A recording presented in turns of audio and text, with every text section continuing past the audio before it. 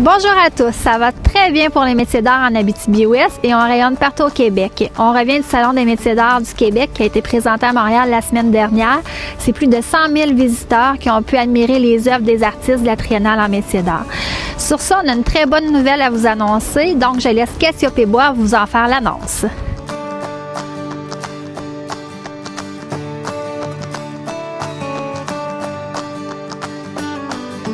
Merci Véronique. Alors, je suis très excitée d'être ici aujourd'hui à Valparadis pour vous faire une incroyable annonce. C'est que la ville de la Sœur a fait l'acquisition de l'œuvre Incantation de l'artiste Christelle Bergeron.